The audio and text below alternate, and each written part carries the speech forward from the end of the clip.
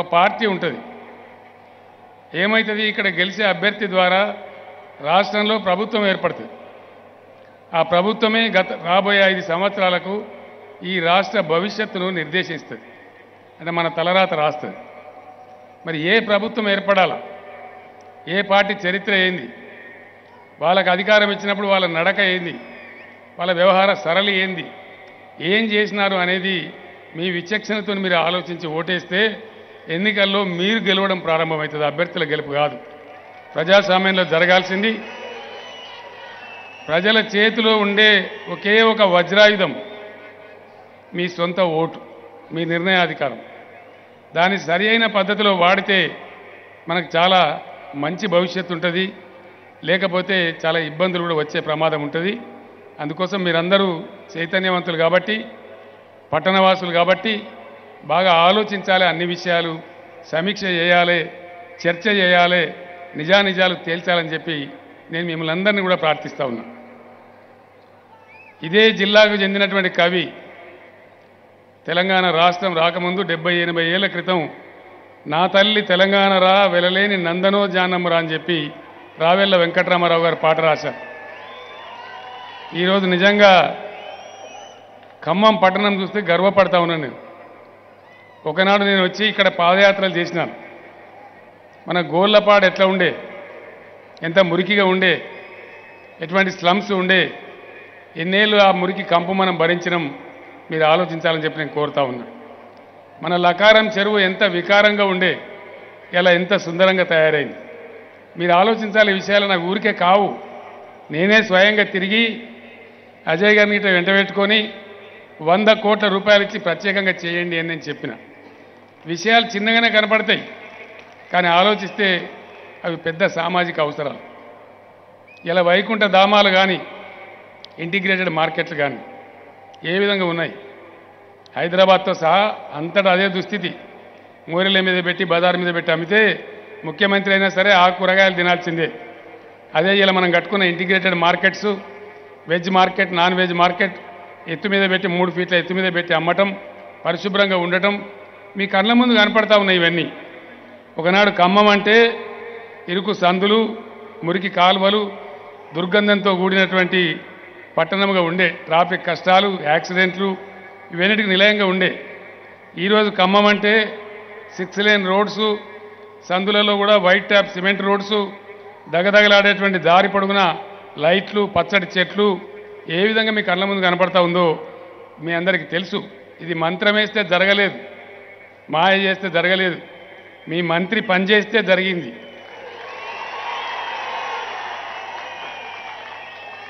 నేను పేపర్లలో చదివి మేము చర్చ చేసేవాళ్ళం.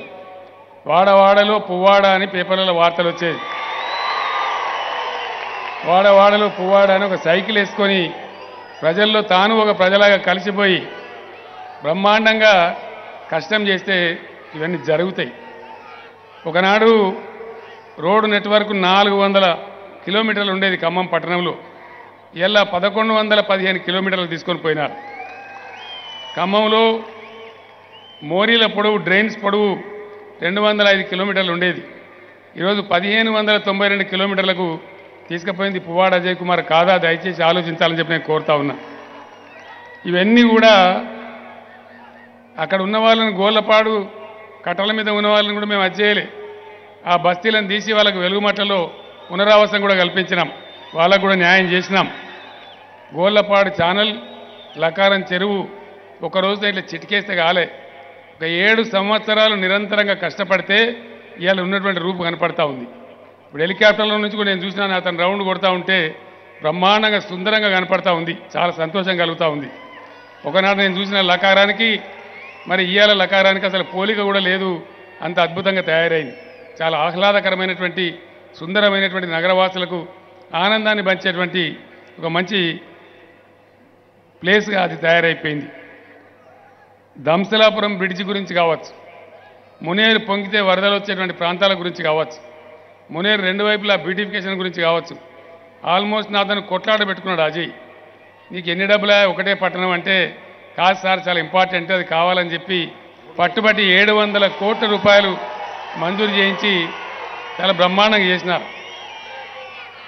ఇంకా ఆయన కోరిక ఏంటంటే ఆ కట్టే బ్రిడ్జి కూడా బ్రహ్మాండంగా తీగలవంతంలా గట్టాలి పాత దాన్ని తయారు చేస్తే మా ఖమ్మం పట్టణానికి అందం వస్తుందని చెప్పి ఆయన ప్రయత్నం చేస్తూ ఉన్నాడు. నేను మిమ్మల్ని ఒక్కటే కోరుతా ఉన్నా.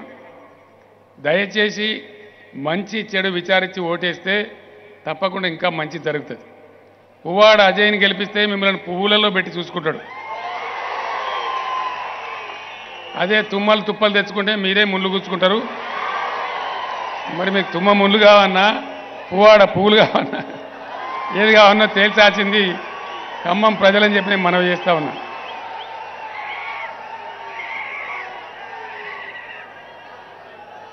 ఖమ్మం నగరంలో ఐటీ టవర్ ఇది కళ్ళలో కూడా ఊహించినమా? కళ్ళలో కూడా ఊహించలేదు. అజయ్ గారికి సొంతంగా ఇక్కడ మెడికల్ కాలేజ్ ఉంది మనందరికీ తెలుసు. అయినా కూడా నాతను కొట్లాడి పట్టుబట్టి ఖమ్మానికి కూడా గవర్నమెంట్ కాలేజ్ కావాలి మొదటి వరుసలో కావాలని తెచ్చి గవర్నమెంట్ మెడికల్ కాలేజీ పెట్టించిన ఘనత కూడా తప్పకుండా ఆయనకే చెందుతుంది. ఆ విధంగా రవాణా మంత్రిగా ఉన్నందుకు బ్రహ్మాండమైన అడ్వాంటేజ్ తీసుకున్నాడు. హైటెక్ బస్ స్టాండ్ కట్టేసిండు. నలభై కోట్లతోని ఆర్టీసీ వాళ్ళ కళ్యాణ మండపం కూడా కట్టించిండు. ఇవన్నీ పనులు కూడా ఒక పద్ధతి ప్రకారం క్రమ పద్ధతి ప్రకారం కమిట్మెంట్తోని కన్విక్షన్తో చేస్తే ఇట్లా తయారవుతుంది బయట కూడా ఇట్లే ఉన్నాయి. ఖమ్మం అంత బాగాలేవు నేను చెప్పను. కానీ ఖమ్మం లాగానే అన్ని పట్టణాలలో ఇప్పుడు నేను చెప్పినటువంటి కనీస వసతులు తేవడానికి విశ్వ ప్రయత్నాలు జరుగుతూ ఉన్నాయి. మంచినీళ్ళ విషయం నేను చెప్పే అవసరం లేదు. పక్కనే పాలేరు రిజర్వాయర్ ఉన్నా వారానికి ఒకరోజు నీళ్ళు వచ్చేది. బిందెలు పట్టుకొని యుద్ధాలు జరిగేది. ఈరోజు ప్రతి డెబ్బై ఐదు వేల ట్యాప్ కనెక్షన్లు ఖమ్మంలో ఒక రూపాయికే కనెక్షన్ ఇచ్చి పేదవాళ్ళు కూడా తీసుకునే విధంగా బ్రహ్మాండమైన పాలసీ చేస్తే అందరి ఇళ్ళలోనే ఇప్పుడే అజయ్ గారు చెప్పినారు ట్యాపులు తిప్పుతా ఉన్నారు మా ఆడబిడ్డలు అని చెప్పి. అది కూడా మనకు అందరికి సంతోషం కలిగించే విషయం. గతంలో కరెంట్ ఎట్లా ఉండే ఈరోజు కరెంట్ ఎట్లా ఉన్నది? ఒకసారి దయచేసి ఆలోచన చేయాలి. గతంలో ప్రతి ఇంట్లో ఇన్వర్టరు కన్వర్టరు స్టెబిలైజరు జనరేటర్. కొంచెం కలిగిన వాళ్ళైతే జనరేటర్. ఇలా ఇన్వెస్ట్ ఇన్వర్టర్ లేదు కన్వర్టర్ లేదు లో వోల్టేజ్ లేదు ఏది కాలిపోయే పరిస్థితి లేదు. బ్రహ్మాండంగా జరుగుతూ ఉంది. మీ అందరికి నేను ఒకటే మాట మనం చేస్తూ ఉన్నా. ఇక్కడ మంచి ఎమ్మెల్యే ఉన్నారు మంచి ఎంపీ ఉన్నారు. ఆయనకున్నది ఒకటే రూరల్ మండలం రఘునాథపాలెం. మూడు వందల కోట్ల రూపాయలతోని ఆ మండలాన్ని కూడా అభివృద్ధంగా అద్భుతంగా చేసినారు. రఘునాథపాలెంలో రఘునాథపాలెంలో వెతుకుదామంటే కూడా ఇలా మట్టి రోడ్డు లేదు. ఒకప్పుడు అన్ని మట్టి కొట్టకపోయిన రోడ్లే ఉండేటి. ఇలా ప్రతి గ్రామానికి బీటీ రోడ్ వేయించి ఒక ఇరవై కొత్త గ్రామ పంచాయతీలు చేయించి చాలా అద్భుతంగా ఆ రూరల్ మండలాన్ని కూడా తీర్చిదిద్దాడు అజయ్ కుమార్ గారు మీకు తెలుసు ఆ విషయం ఆ మండల వాసులందరికీ కూడా తెలుసు నేను మీ అందరికీ మనవి చేసేది ఒకటే ప్రభుత్వానికి ఉన్న విజన్ ఇక్కడ అజయ్ మిషన్ ఈ రెండు తోడైతేనే ఈ పనులు జరిగినాయి తప్ప ఎవరి వద్ద వాళ్ళు ఉండేది కాదు हमारे मुसलमान भाइयों को मैं सलाम करता हूं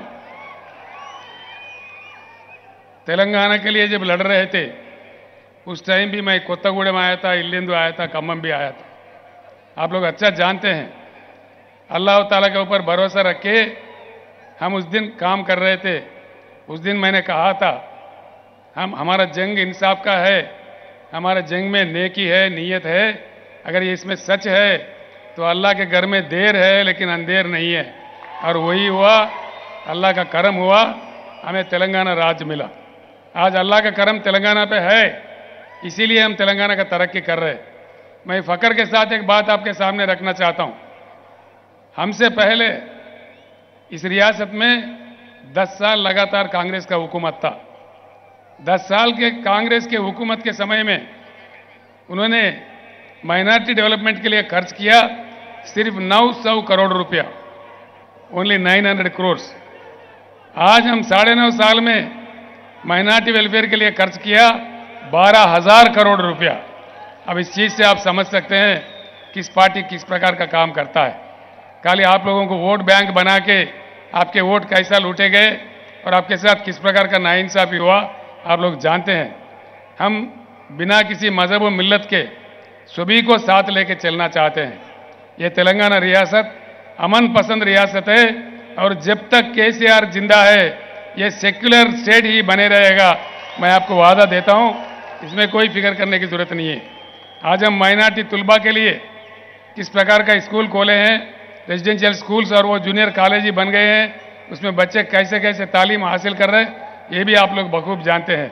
मैं इसलिए आपको गुजारिश करता हूँ, आप लोग प्यार से अजय कुमार को अजय खान के नाम से पुकारते हैं, वो भी मैं जानता हूँ।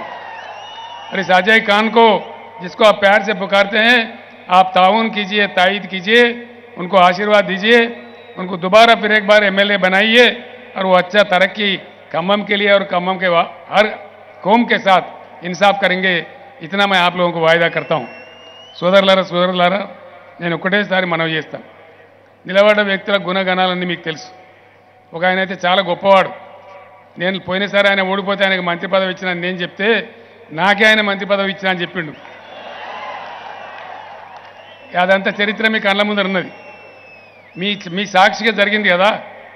ఇదే అజయ్ గారి చేతిలో ఓడిపోయి మూలకు పడి ఉంటే నేను పిలిచి అందరినీ సమన్వయం చేద్దామని మంత్రిని చేసి జిల్లా అప్పగిస్తే ఆయన సాధించిన ఫలితం గుండు సున్నా. ఒక అజయ్ తప్ప ఇంకెవరు గెలవలే. నేను అందుకే మొన్న చెప్పిన సత్తుపల్లి సభలో ఈ జిల్లాలో ఇద్దరు కర్ణాటక దమనకులు ఉన్నారు. ఈ కర్ణాటక దమనకులు చదువుకోవాలంటే మీరు పరవస్తు చిన్నేశ్వరి రాసిన కథ చదవాలి.